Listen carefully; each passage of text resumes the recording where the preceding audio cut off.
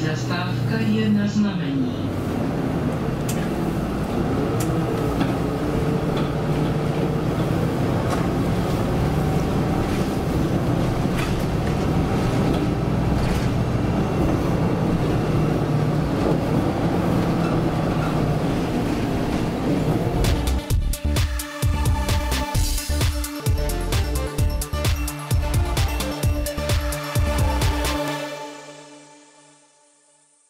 Na severovýchodě Prahy se nachází zastávka Zemědělská univerzita.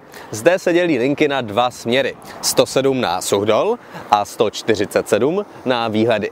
A my si vybereme tu druhou možnost. 147 jezdí z Davidské přes zastávky nádraží Podbaba a Zemědělská univerzita 15 minut. Ale kdybyste třeba náhodou chtěli jet přes Lisolaje, tak tu pro vás jezdí linka 160, která jede 30 minut. A to se vyplatí.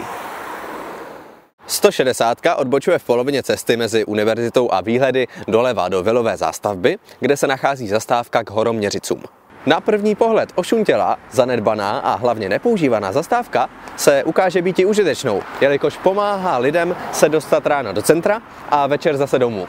Zastávka je na svém místě už od roku 2011 a společně s ní vznikly všechny malé zastávky na znamení v Suhdole za účelem obsloužit větší i menší obytné domy. A ty se zde nachází. Jen tady za mnou a po celé ulici k Horoměřicům jsou čtyři a pětipatrové domy s garážema.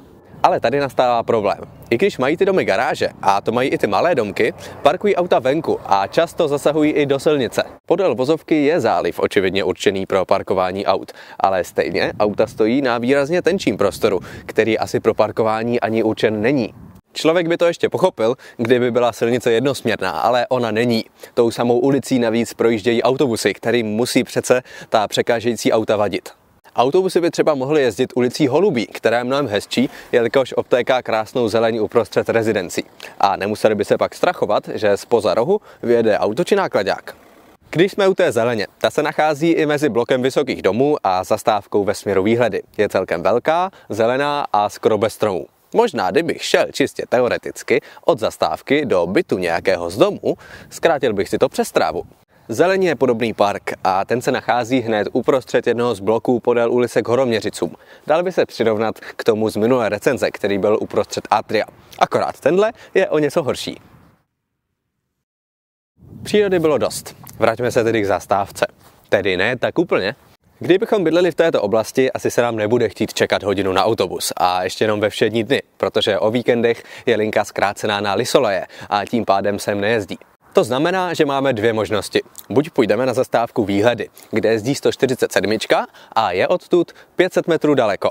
Nebo půjdeme na zastávku Zemědělská univerzita, kde jezdí navíc významná 107 a noční 909, akorát je odtud o 100 metrů dál než výhledy. Takže toto dilema necháme na vás a video zakončíme na výhledech, protože tam jsme ještě nebyli. Zastávka k Horoměřicům je celkem hezká. Kolem zastávky je zeleň, auta překáží v silnici, autobusy tam jezdí, nejezdí, takže je lepší dojít na výhledy nebo zemědělskou univerzitu. Tak za obslužnost, projzačku a největší odpadkový zastávkový koš v Praze 44%.